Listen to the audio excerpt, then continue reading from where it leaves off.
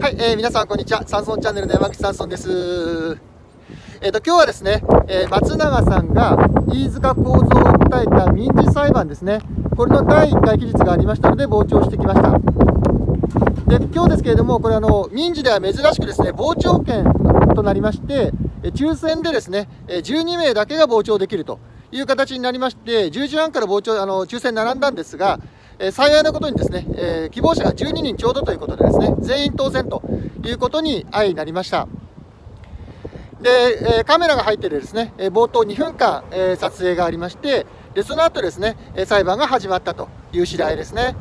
え原告側はですね、松永さん含めて弁護士の方が2人ですね、ですから合計3人ですね。被告はですね、飯塚幸三と、あと相生日生ですね、えこちらもですね弁護士が3人出席していました飯塚幸三は出席してないということです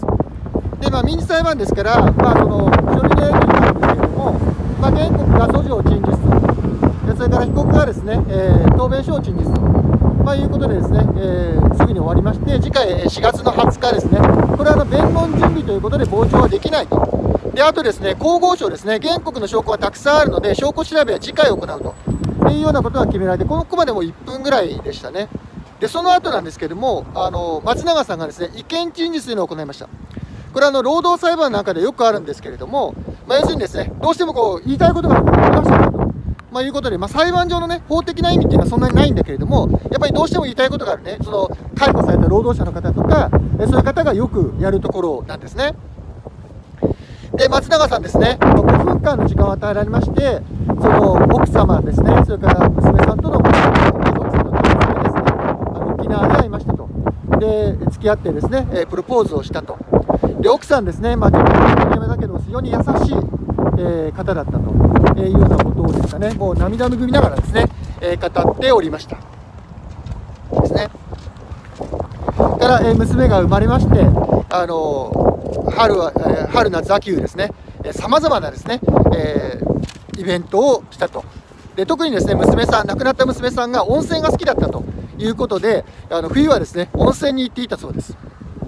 えそしてですね、あのまあ、本当にこうすすり上げながらですね、あの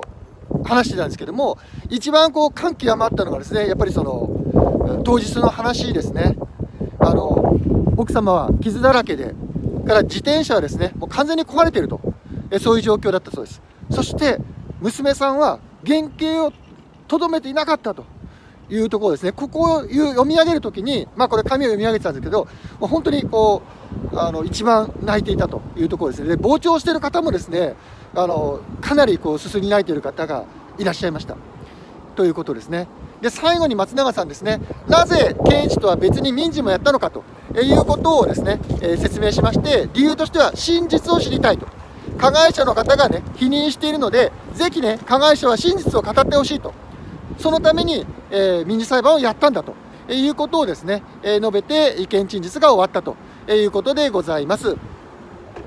まあ、次回4月20日ですね、これ、傍聴はできませんけれども、まあ、あの閲覧はできるということですので、まあ、機会があればですね、ちょっと事件記録をまあ閲覧してみたいと思います。ちなみに部はですね、これ、民事27部といって、これ、あの交通専門の部ですね、あの自動車事故を専門に扱っている部ということになっていきます。で、結構民事でね、あの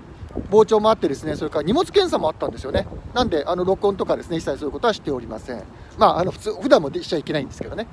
えー、ということでした。えー、よかったらですね、チャンネル登録、高評価ですね、それからコメントと、まあ、よかったら、投げ銭の方ですね、よろしくお願いします。どうも